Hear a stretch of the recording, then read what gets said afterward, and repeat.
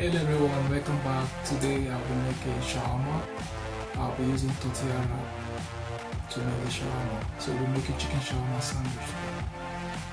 So sit back, relax and enjoy. Thank you. We need cabbage about 100 grams, one tomato chopped, carrots about 50 grams, finely chopped, spring onion 20 grams, finely chopped, chopped chicken, well spiced, mayonnaise 3 tablespoons, and greaseproof paper. We also need a tortilla wrap. So let's get started now. Now let's top the tortilla wrap. Put some cabbage, carrot, spring onion,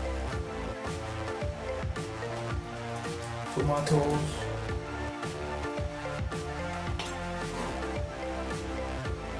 spiced chicken,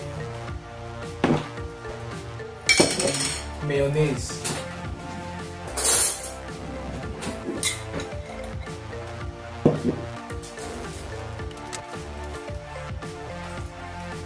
So I'm gonna wrap the tortilla wrap.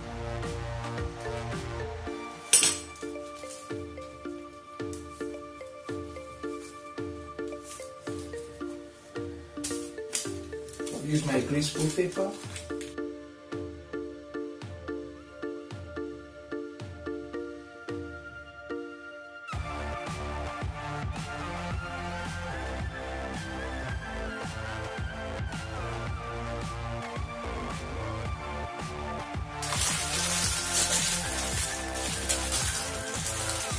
That's it. So I'll put this on the oven tray.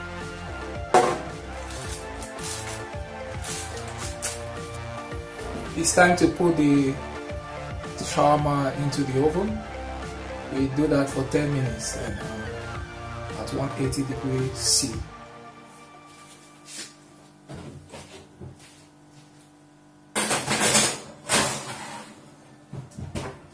We check back in 10 minutes.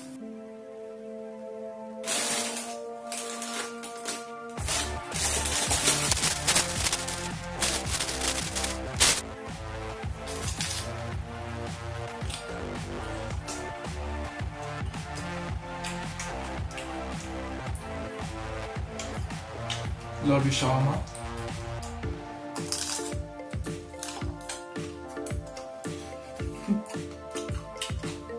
Thanks for watching. Bye bye.